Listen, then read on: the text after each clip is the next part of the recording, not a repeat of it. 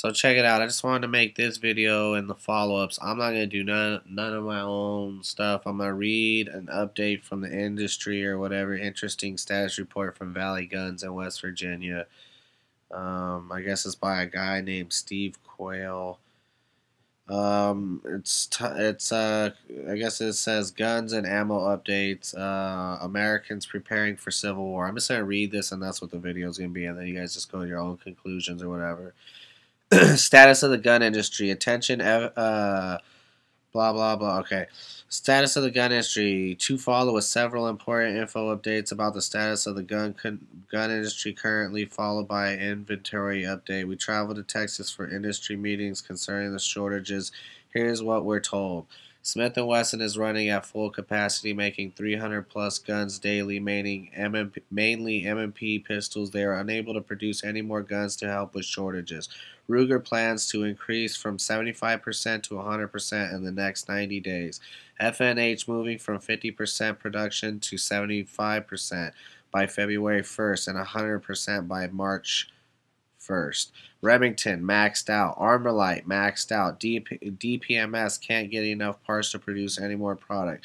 Colt production runs increasing production runs increasingly weekly. Bottleneck bottlenecked by bolt carriers.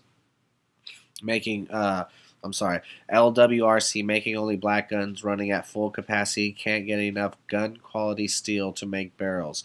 Springfield Armory, only company who can meet demand but are running 30 to 45 days behind. Ammo. Every caliber every caliber is now allocated. We all are looking at a nationwide shortage of all calibers over the next 9 months. All plants are producing as much ammo as possible with with of 1 billion with 1 billion rounds produced weekly, most in military followed by law enforcement and civilians third in line. So we're third in line. All right. I'm not arguing about it or saying anything. I'm just letting you know where we're at, civilians. Um, reloaders. All Remington, Winchester, CCI, and Federal primers are going to ammo to ammo first.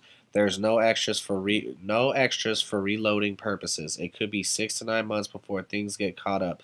Sorry for the bleak news, but now we know what to expect in the coming months. Stay tuned. Anyways, quick shooting towards the end of this. Um, they didn't the talking about the gun manufacturers and such. They didn't know when they'd be getting anything back in stock from magazine uh, from magazines to rifles to pistols. Manufacturers were running full but couldn't come close to keeping up with the market demand.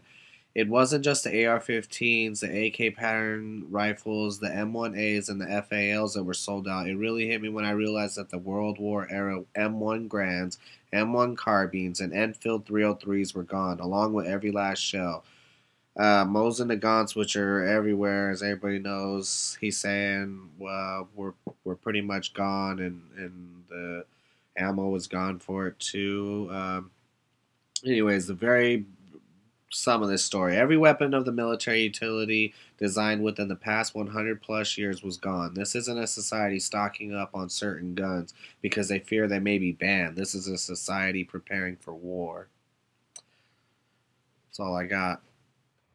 And as always, the revolution will be televised.